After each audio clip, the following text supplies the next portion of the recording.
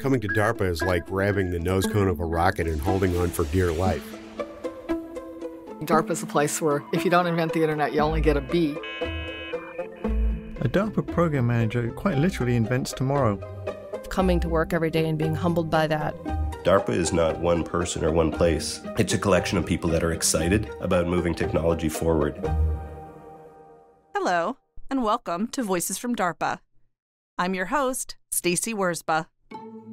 We don't really do serialized storytelling on this show, but we would like to recommend that you take a listen, if you haven't already, to episode 71 The Quantum Mechanic. It's a good primer on quantum, qubits, classical versus quantum computing, and several other concepts you'll want to be familiar with because, fair warning, this one gets a little more technical than most. In this episode, we're taking a deeper dive into the quantum world with Dr. Mukund Vengalattore, program manager since 2022 in DARPA's Defense Sciences Office. Dr. Vengalattore leads the Optimization with Noisy Intermediate Scale Quantum Devices program, or ONISQ. We'll get into the details on that program and a pretty major breakthrough that came out of it shortly. But before we go all the way down to the subatomic level, let's hear Dr. Vengalattore's macroscopic perspective of the work he's doing at DARPA. Across my portfolio uh, right now, I have programs all the way from sensing using atoms and using superconducting structures to computing, both classical and quantum, to clocks, to very mobile, field deployable, tactical grade clocks, to new kinds of quantum materials. But there is very much an overarching theme, which is based on the very large overlap between how to make better sensors, how to make better qubits, how to make better clocks. And in between is a huge overlap of ideas that I would like to harness to go after specific mission goals or specific applications. Mission goals and specific applications. Those are key components of any program at DARPA. We don't tend to do science for science's sake. And Dr. Vengalattore was familiar with those ideas from previous interactions with the agency. Funnily enough, my first few projects as a graduate student were part of DARPA programs. The first one being a program called Jibeki that had the goal of creating these nanokelvin temperature atomic vapors. Nanokelvin, that's one billionth of a degree Kelvin. So we're talking super cool. And then using these vapors on a chip, very much like a microfabricated circuit, as inertial sensors with the idea being that in principle, these atomic fluids, these quantum fluids, would be almost 10 orders of magnitude more sensitive to rotations and accelerations than state of the art fiber gyroscopes. And in true DARPA fashion, a widely ambitious idea, perhaps ahead of its time, but some of those ideas are still very much in the forefront of cold atom research today. The other program, just as ambitious, was to find ways to get cold atomic gases to slow down and trap light, to go from the speed of light of about 300 million meters per second down to a few meters per second. That all sounds really cool and ambitious, but you might be wondering what would the purpose be of slowing down light? The whole idea is that while atoms and ions and molecules are great sensors or qubits, they can be isolated, they can be trapped, they can be controlled, they don't go anywhere. Photons, on the other hand, travel very fast in essentially lossless manners, and so they're very good transporters of quantum information. But the fact that this travels so fast is also a downside because how do you actually impart quantum information to the photons in the first place? And so the idea is that if we can find a tunable knob that can control the speed of light, then you can get very fast pulses of light into your qubits or your, your sensor, trap them there, hold them there for a while, while you encode information into the photons and then send them back on their way. This sounds a lot like a pit stop in racing. These extremely fast vehicles that need to pull into a slower state to get the fuel and tires they need, or, in the case of photons, information.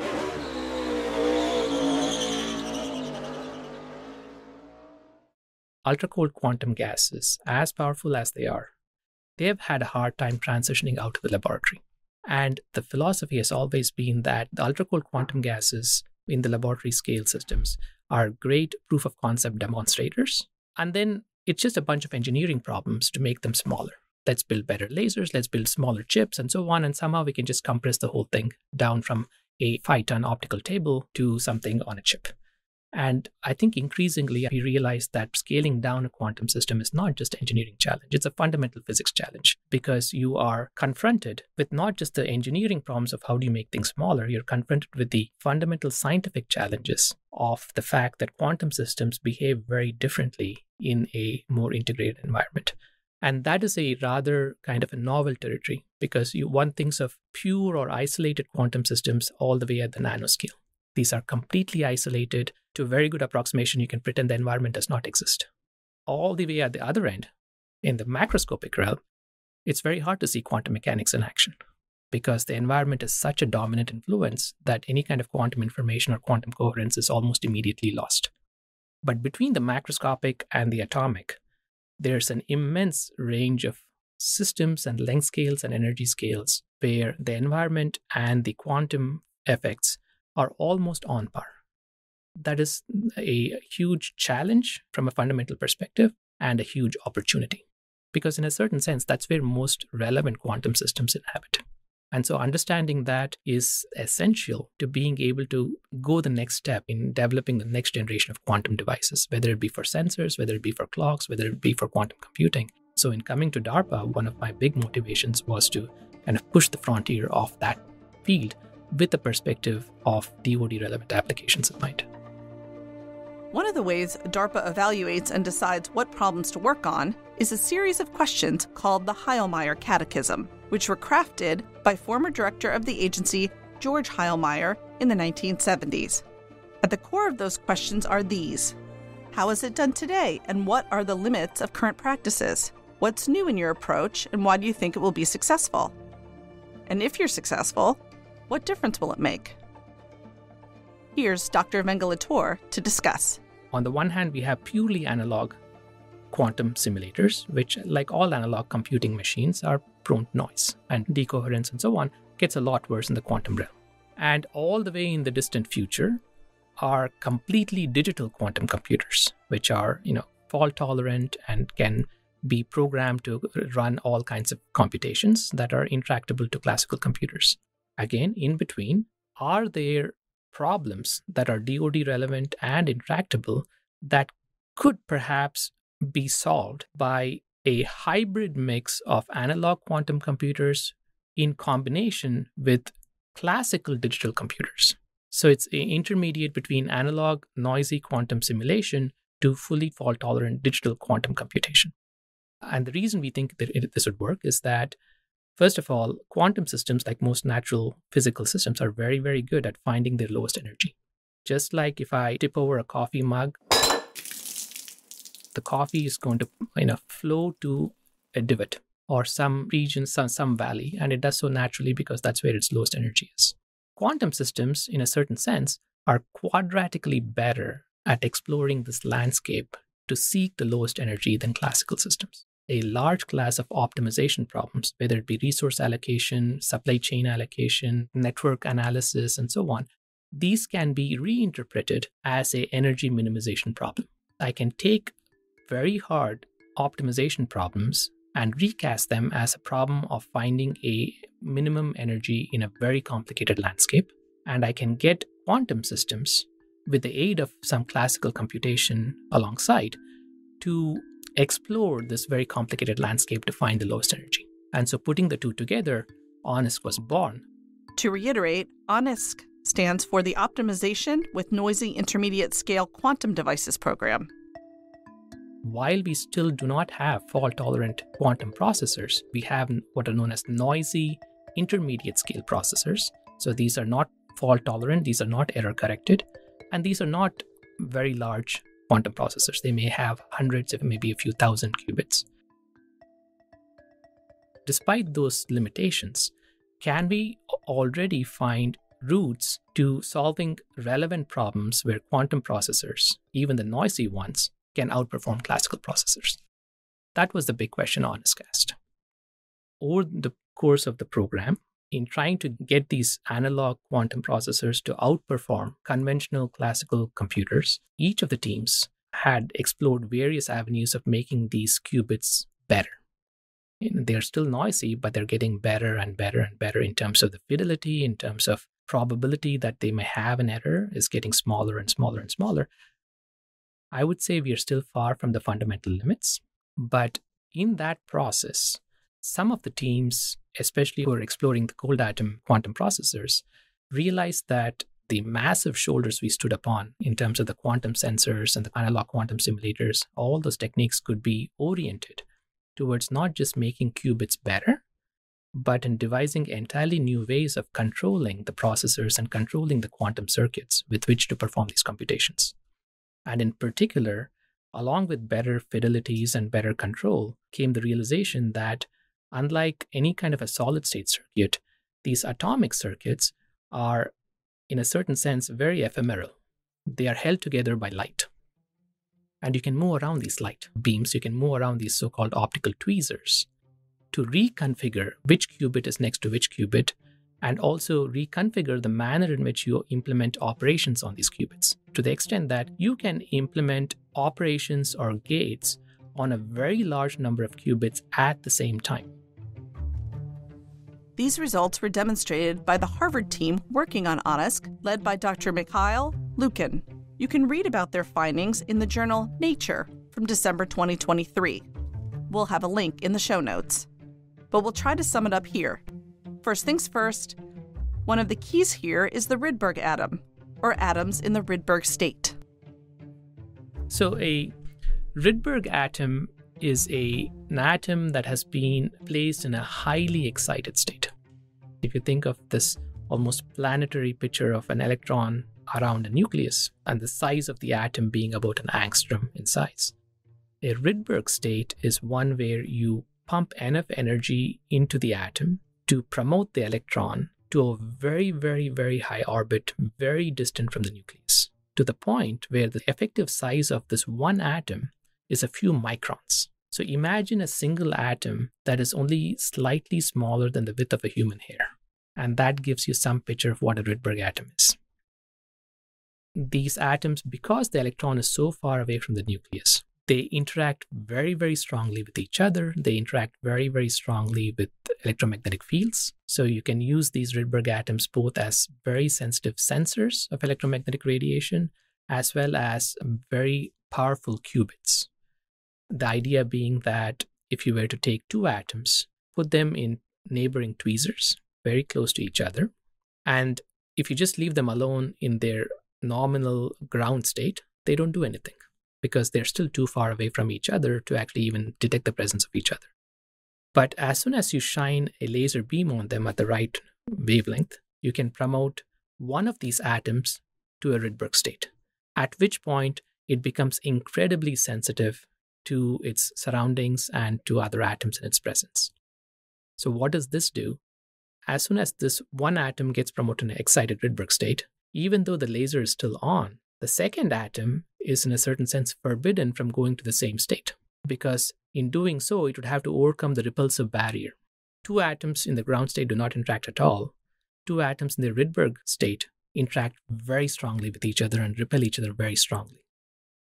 So, the way this system of two atoms gets around this is to say one of these atoms is going to get promoted to the Rydberg state and the other is going to stay remain in its ground state no matter how long the laser is on except you don't know which atom was promoted to the Rydberg state. So that, in a certain sense, is the elemental operation that makes entanglement possible. You take two atoms, you zap them with a laser, one of them gets promoted to the Rydberg state, but you don't know which one. And then you take the two atoms apart. Now the two atoms are entangled. You know that one of them is in the Rydberg state, you don't know which one. And that's how you construct an elemental entanglement operation. So, Rydberg atoms aren't a novel concept. Here's Dr. Mikhail Lukin, leader of the Harvard team on ONISQ, with more on their implications. These atoms are identical. Their properties are given by nature. It's very important because each atom, basically in our approach, stores a qubit, and the atoms are trapped in the so called optical tweezers, which are basically focused beams of light. If you want to do some operation on many atoms, you don't need to calibrate each of these atoms or each of these laser beams individually. And this optical multiplexing turns out to be like a very important feature if you would like to create and manipulate these logical qubits, because basically with just one change of control voltage, you can send instructions to many atoms kind of in parallel. And you know, thinking about that redundancy is a key feature of the quantum error correction, this is exactly what you want to do in most of the cases. The fundamental idea of control over logical qubits rather than physical qubits is one of the key innovation which resulted in this kind of recent developments. So a physical qubit is noisy, it is prone to errors, it's prone to decoherence. So if you were to prepare the qubit in a specific state and just sit there and wait for a while, that information is going to get destroyed. A logical qubit, on the other hand, is a artificial construct that we create as a aggregate or a collection of physical qubits with the idea being that if there are sufficient qubits in this logical entity then we can make the quantum information redundant to such an extent that there is a chance and a, or a high probability that every time an error occurs in any of the physical qubits within that logical entity, we can detect and correct it. So, the use of Rydberg atoms in logical qubits is the first part of the innovation here. The second innovation is that we improved the performance of physical logic gates. For the first time, we demonstrated that we can do quantum logic, in particular so called entangling gates, on many pairs of atoms in parallel with the error rate which is below the so-called you know quantum error correction threshold. So it's basically low enough that you can grow the system and the error improves.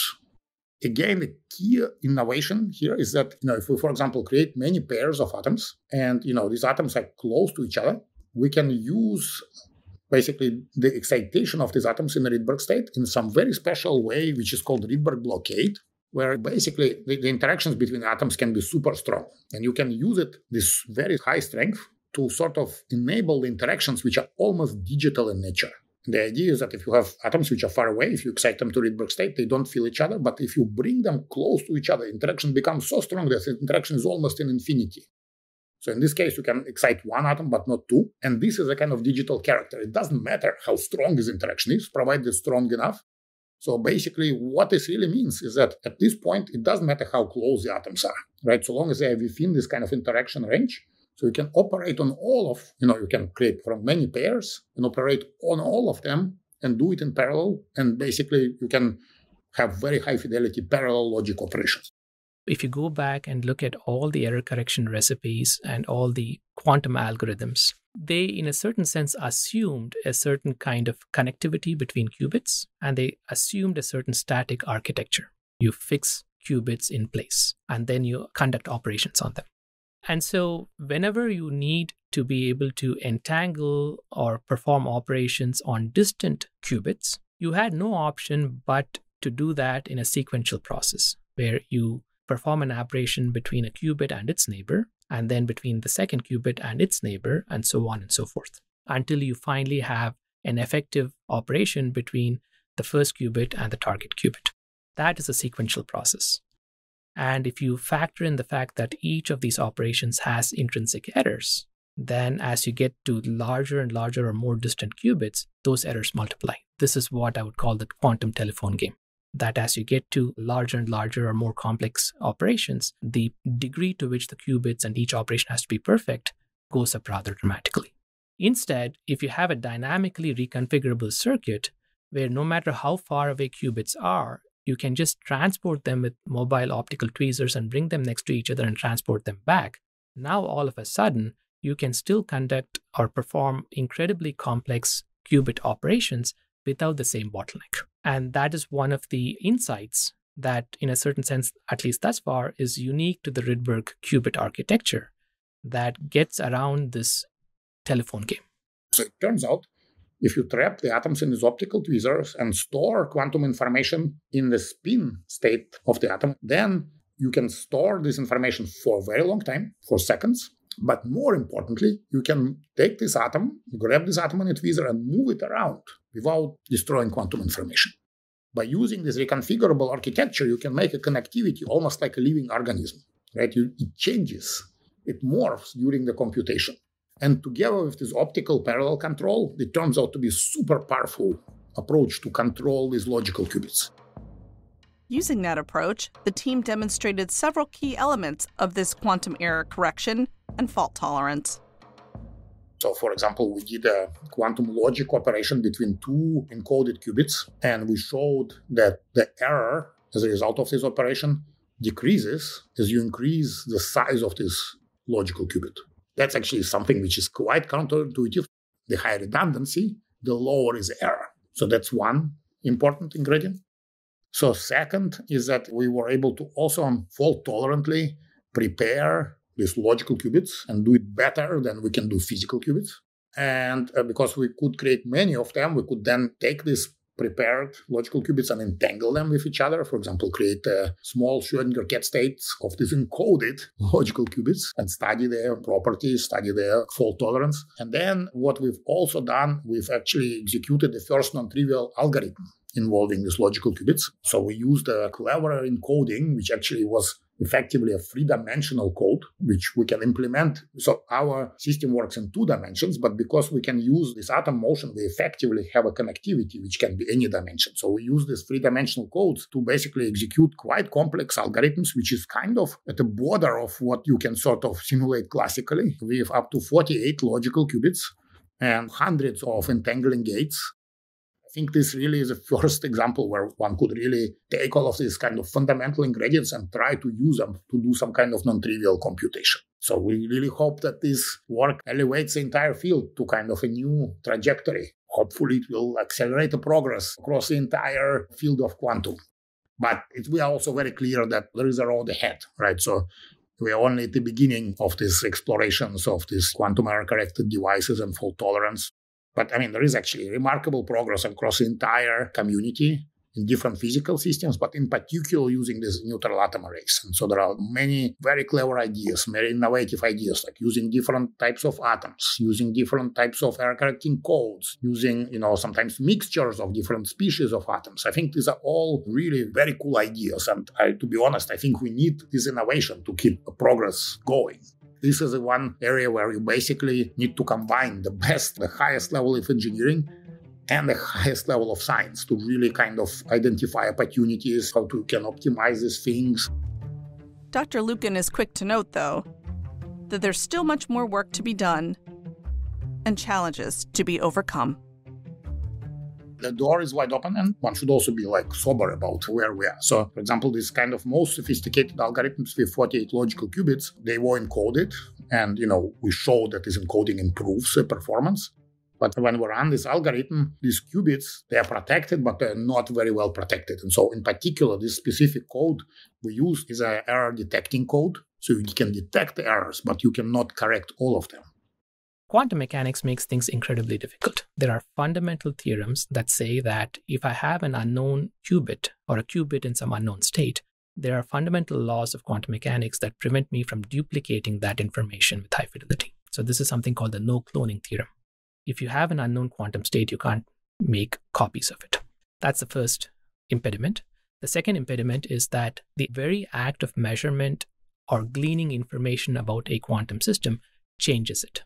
So, how do you duplicate it in the face of the no cloning theorem? And how do you measure where the error was in the face of the limitations imposed by quantum measurement? So, much of quantum error correction, or the entire field of quantum error correction, basically devotes its time and its creativity to coming up with ways to get around these two fundamental impediments of how do we duplicate information that we can't measure and how do we detect errors without really destroying the quantum information. And so much of the error correction schemes that try to get around these impediments rely on a very high intrinsic fidelity of the physical qubits, and they rely on a large amount of overhead. So for each logical qubit requires hundreds, perhaps thousands of physical qubits. And each physical qubit in the logical qubit must be past a so called error correction threshold. And the threshold is the performance of a qubit beyond which you can correct errors faster than they appear, below which the errors are being created faster than they can be corrected. So, the holy grail, in a certain sense, is to get far beyond the threshold. And what the Harvard team, one of the innovations here was to recognize that with these new tools of control and transport, that, in a certain sense, there are a lot of potential disruptive surprises ahead in terms of alternate avenues to error correction or fault tolerance that, in principle, could require far lower overhead than people had uh, otherwise suspected. And so, in principle, the number of qubits one would need in a quantum processor to really go after the intractable problems would be far lower than people had originally suspected. That still remains to be proven, but I think these latest results from ONISQ definitely suggest possibilities in that direction.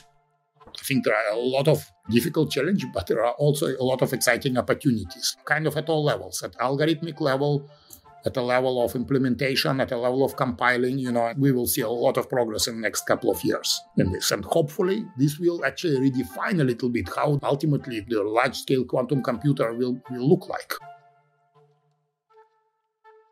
Looking beyond ONISQ, because it's only one piece of Dr. Vengalattore's portfolio, there's a lot on the horizon. we've already started thinking about the next steps. Right now, it's a disruption opportunity called MeasQuIT. And MeasQuIT is asking how do we explore the richness of most physical qubits and how do we harness the concepts of quantum measurement to, in a certain sense, enable new capabilities in quantum information processing. We have gotten to a point where we have gone from thinking of measurement based collapse or destruction of quantum information as an impediment to thinking of measurement as a way of guiding or controlling a quantum system into new capabilities. It is a rather unique aspect of quantum physics that the mere act of measurement changes the evolution of the quantum system. And so, one of the questions MeasQuIT is asking is how do you use this measurement to then coax or guide the quantum system into a state that it might otherwise never have reached? And in so doing, use the measurement itself as a way of creating new computational capabilities or creating new sensing capabilities. So essentially, the observer effect, or the disturbance of an observed system by the act of observation, can be treated not as a bug, but as a feature. The act of measuring a quantum system can uh, rather surprisingly or counterintuitively freeze the quantum system. You know, this notion that a watched pot never boils, in a certain sense, is true in the quantum world. But we can go beyond that, and rather than say we're just going to freeze the quantum system, how do we use measurement to, in a certain sense, guide it into a place where it might never have reached? And so, then how do you create the right kind of measurement and the right kind of environment to be able to coax quantum systems into very, very powerful, robust, long lived states that might have utility in computation or sensing. And so MeasQuIT is taking the first steps towards that path. The idea being that once we have some genuine progress in this area, we then expand it out into a full program with very specific metrics and, and goals. Another program Dr. Vengalattore runs is Science of Atomic Vapors for New Technologies, or SAVANT. Savant is a different program, mm-hmm. but again, there's close overlap in some senses. Uh, and one of the connections is that Savant uses Rydberg atoms, except these are not cold, these are thermal Rydberg atoms just floating around in a room temperature cell. And by promoting them to the Rydberg states, in contrast to ONISQ, which is using these to create qubits and gates, within Savant, we're using Rydberg states as very, very precise sensors of electromagnetic radiation. The idea being that, in principle, these could be much more sensitive than traditional antenna based communication systems, but they also have other disruptive capabilities. For instance, unlike antennas, Rydberg sensors can be much, much more tiny compared to the long wavelength antennas, which can span several meters in size. But they also can be made to sense frequencies or signals all the way from very low frequency, by that I mean like megahertz, all the way to the terahertz. So that span of frequency in a single sensor is not something that we have in conventional antenna based communication systems today. To target different regions of the electromagnetic spectrum, we need dedicated, distinct antennas. And so the notion that you could have one sensor where just by tuning a single laser, you can detect signals all the way from megahertz to terahertz is something unique that Rydberg sensors bring to the table. And so Savant is looking at exploiting that capability for all manners of sensing and communication applications. These advances in quantum science build on years and decades of research in the field. One of the best things that happened to me was my faculty advisor at MIT entering my sophomore year told me that it was time for me to get into research, which at the time I hadn't even known was an option. And uh, very luckily, I spoke to a few of my professors whose classes I was taking, and they gave me a tour of their labs. And the more I saw cold atom research and the very notion that we could use lasers to reduce the temperature of these atoms down to microkelvin, and you can quite literally walk into a lab and stare into a vacuum chamber and see this glowing ball of atoms at tens of microkelvin. That's probably the coldest thing you've ever seen. But the amount of control and the amount of insights and the very notion that you're quite literally staring quantum mechanics in the eye, I think that that still gives me goosebumps today. It's been amazing to see all the way from being an undergraduate working in this area to where we are now, to see the maturation of this field, to see all the insights and very, very fundamental insights that have come out of this. In fact, one of my um, colleagues, I would say mentors, said in connection to some of the experiments that my students had done at Cornell that these were experiments that were deemed impossible only a few years ago and are now making their way into textbooks. And that is not just me, that is across the field. That these are amazing colleagues, amazing scientists, and an amazingly collegial environment. Very, very proud to be a part of that and see this field continue to bloom and continue to kind of make these very fundamental and very innovative and society changing contributions. That's all for this episode of Voices from DARPA. We'll have links to all the programs we discussed in the show notes. As always, thanks for listening.